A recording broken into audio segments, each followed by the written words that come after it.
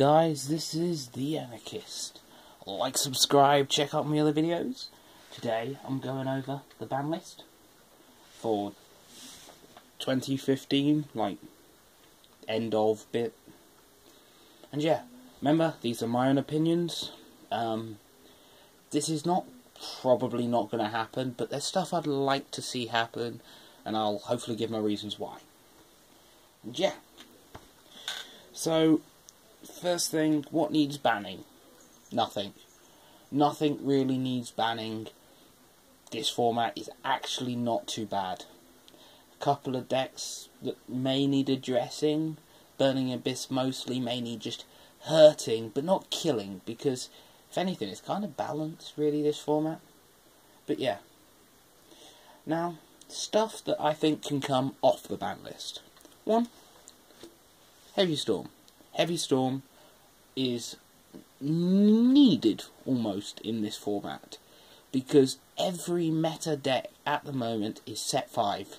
They have Vanity's Emptiness, they have all of these chainable traps in Burning Abyss, they have pendulums. You want to hit the spell and traps. This sorts it. So, you want to just. I don't like the formats where they're going set 5 OTKs can't really happen because we can do this.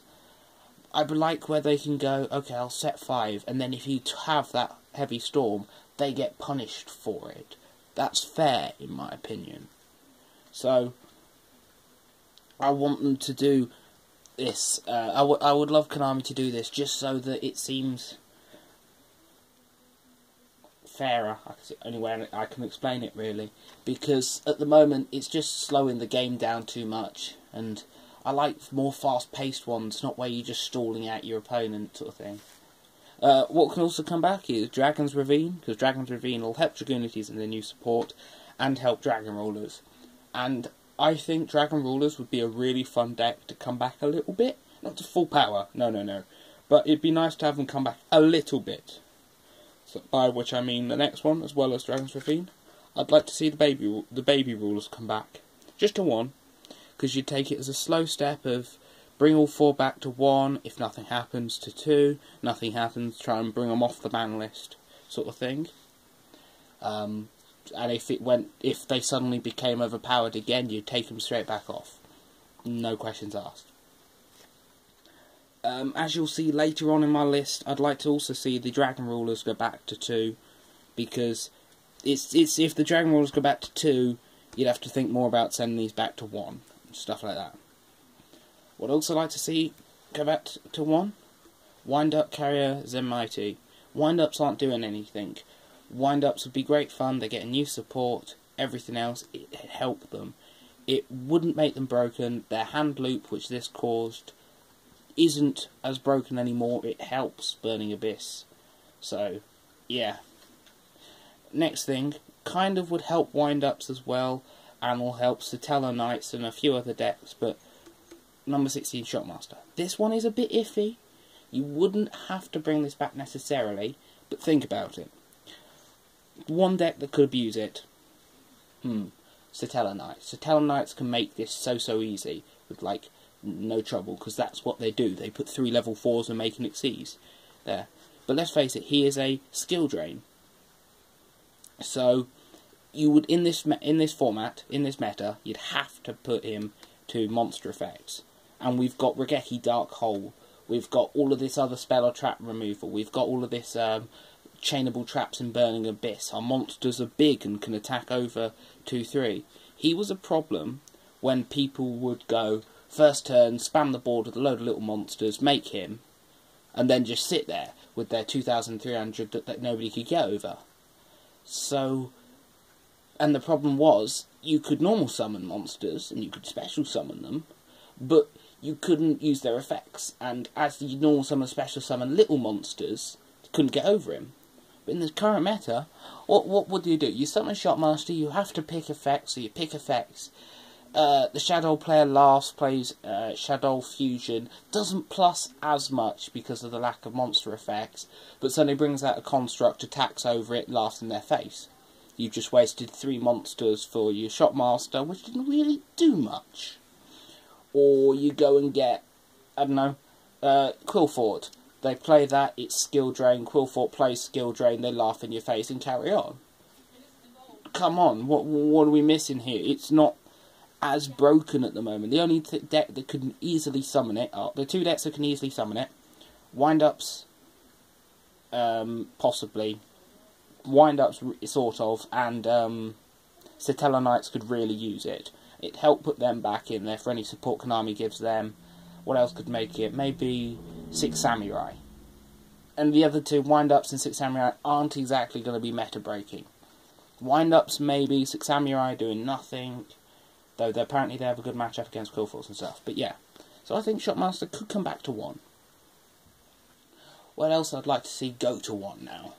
Uh, Vanity's Emptiness should go to one. Vanity's Emptiness is it's not broken. It does have weaknesses, and with the heavy storm and everything else, it, it's okay. But if it was a one-off, it'd stay almost like a staple, and you just play it, and it would speed up the game. Because I dislike the stall decks where you just sit there controlling the field forever. It's like that's not fun. You want to be able to go absolutely ape and get that exhilaration of um, I, if I get stopped at this, I'm stuffed but if it goes through, I've won in one turn. I always like that feeling. But if I'm playing against my opponent who's going, I've set five, I can stop anything. It's just one of those things of, oh, he flips Vanity's Emptiness, my play is stopped, I don't have the MST to stop it. You kind of stuffed. you know what I'm saying? What else? Um, what else could go to one on the list? Could go from one. Um, I don't really know. Maybe um, Fire Lake, the Burning Abyss. That should go down to one. They still need it because it really is a big power play for Burning Abyss. But going down to one would be fair. Because that way it's just a one of you get blown by it, oh, they top decked it and stuff. Um, yeah. Now for going to two. Uh, Gigi Gear. Gigi Gear if the shine doesn't get on it, is for Gear Gears, it'd help promote Gear Gears who would then be able to use Shockmaster, so that's why it's a little bit more iffy. Uh, but Gear Gear is a great card. It wasn't necessary to kill Gears like that. It's because apparently Gears are better than Satellar Knights in a lot of ways. But they back at two, it makes Gears like playable, but not as broken as they were with three Gear Gear. It means you can play the little guys and stuff like that. What else to two? Uh, Dark Hole could genuinely go to two, as nobody, not even Yang Zing, would play Dark Hole at two and Raigeki to do it. Some uh, rogue decks may play it because Dark Hole is Dark Hole, but yeah. What else? Um, can't really think of much else. Oh yeah, comment down below what you think of the list, by the way, and any ideas for stuff I've missed. Um, what else can go to 2? Sacred Sword 7 stars. This is a bit iffy to me. If the Dragon Rulers stay at 1, bring it back to 2. And slowly bring it off the list. Because you have this in your Dragon Ruler deck, you draw two cards, but lose one of your four boss monsters that it's difficult to get back. You end up playing like Burial from a different dimension and stuff like that. And then are like, oh, I've just drawn two cards, which may or may not help me, but I've lost my only play. So, yeah. He can come back to 2. Next I'd love to see is the 4 Dragon Rulers back to 2, because I think Dragon Rulers would be great fun in this deck, in this meta. Shaddoll, they aren't as broken, so you could play, you could bring them slightly back to like mid-power, because Shaddolls would laugh as they go and beast them. Qliphorts would go cough for a moment and then realize when they played their skill drain and then realise actually you can still get over all of them. They're not that not that broken anymore. i uh, Burning Abyss, it would actually hurt Burning Abyss a bit, because beyond all the chainable traps and stuff, which they have to think about more with the Dragon Rulers, you'd be able to make summon a Dragon Ruler, and Dante wouldn't be as much of a problem. So I think it would almost help the game at the moment and help hurt Burning Abyss if this came back. They'd also become more of a smashable engine and stuff. What else can go to 2? Torrential Tribute could go to 2, because destroying stuff at the moment isn't good. We're, going to end up needing localized banishment to cite more cards, like almost a banish Raigeki or a banishing Dark Hole is what we're probably going to end up needing. But Torrential Tribute would be good. It hurt um, the pendulums, but not anything else really. Uh, what else? They might bring like Dimensional Fissure or Macrocosmos back to two to try and hurt these graveyard ones, but I kind of doubt it because it will shut down. I didn't like those cards. When you've got stuff that's just like, yeah, I banish everything, it hurts everything. It just it can just shut them down. It's almost as bad as it is as bad as going for um, Vanity's Emptiness, so that can stay down there. I don't know if Vanity's Fiend needs anything dealing with because it does completely shut down a lot of decks. You summon Vanity's Fiend, they, they scoop, sort of thing. If they don't have the Dark Hole or some monster removal, because a lot of our monster removal at the moment requires special summoning. I mean, think about it. If somebody summoned something that you, with 2400 or whatever its attack is, and you, you can't special summon to get over it, what have you got to destroy it? You've got your Chainable Chaps in Burning Abyss. Fair enough. Your Monarch Stormforth yeah, you can do that and bring out your own one. But what really else? Are you gonna... No, you can't shed Shaddoll Fusion. Um, can't Judgment Dragon them. Can't Hornet or Inzektor them. You can't... Uh, the only thing really that's splashable in all decks is like Raigeki. And that's a one-off. It's kind of bad. Oh, what else can come up to two on this list? I should have had that out actually.